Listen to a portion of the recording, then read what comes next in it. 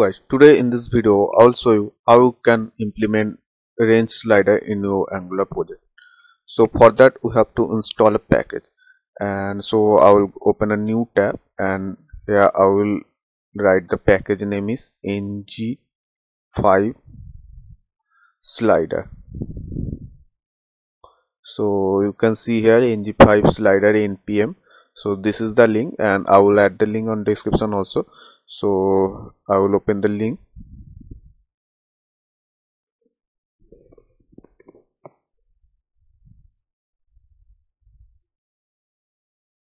And you can see here this is the package manager page.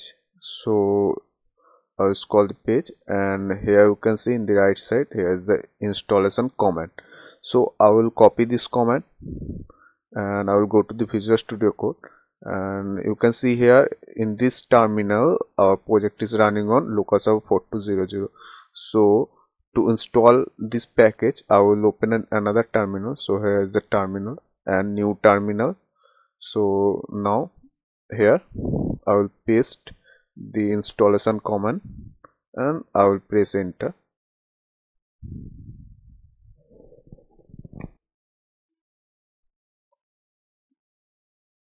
so the installation is completed and now I'll go to the browser and here we can see here is the four dependencies.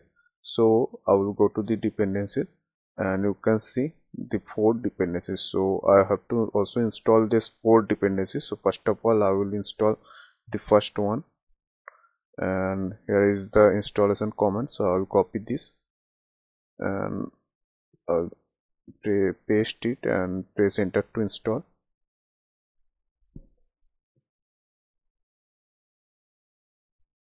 so here's the installation completed and now again I will go to the browser and I'll back go back and I'll go to the dependencies again. And now here is the second dependency rxjs so here is the installation command of rxjs and I'll paste this command and press enter to install and I will add the all this all all the command in description also.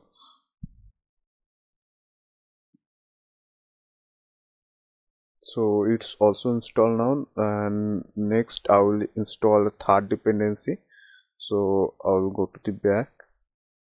And again I will go to the dependencies. And the third dependencies is rxjs compat. So I will go to this. And here is the installation command. And I'll paste it.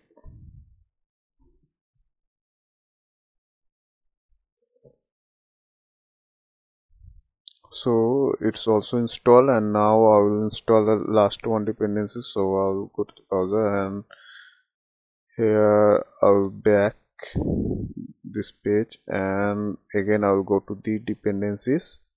And the last dependency is tslib so I will click the tslib and here I will copy this installation command and now I'll paste it.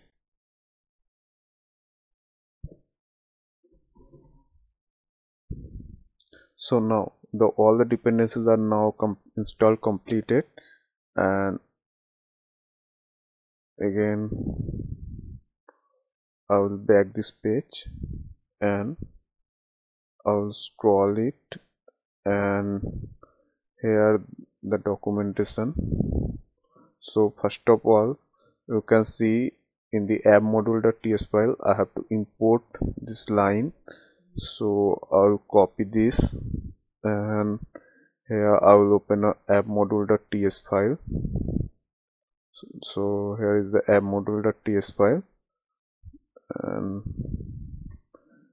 here I will paste this import line and in the imports array you can see here I have to paste this line. So I'll call the app page and here you can see the imports array and now here I will paste this. And now I will copy this app file. And again you can see app component.ts file. App component.ts means in which component I want to run the slider.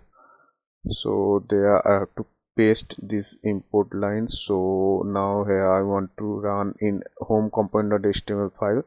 So in the home component.ts file I will paste this import line and into the export class I have to add this code. So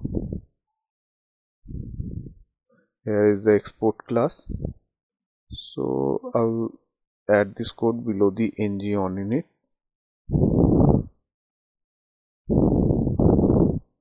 and the next in the html file you can see here I have to add this line. So I will copy this and in the html page I will add this line. So I'll press Ctrl S to save. And now I'll go to the browser. So you can see the range slider is now added. And I will scroll the page and I will go to the website of range slider you can see. And here is the different type of slider. So now I have added this first one. So now if I want to add this multi-range slider so here I will go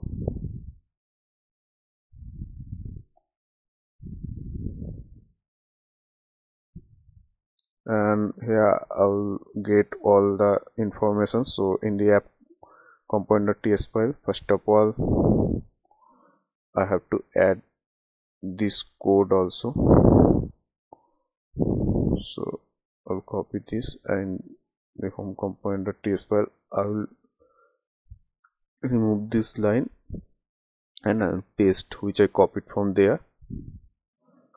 And press Ctrl S to save and from here I will go to the HTML file and I'll copy this line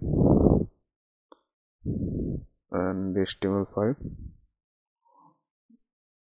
I'll remove this and I'll paste it.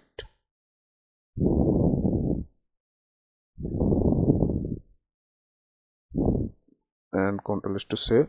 And now I'll go to the browser and you can see it's added multi-range slider. So here you can see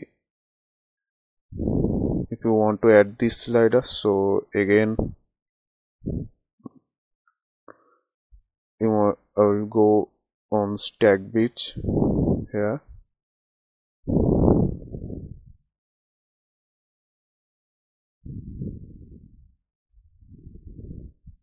so again you can see I have to add this import line first of all but I already imported it so I will not import again.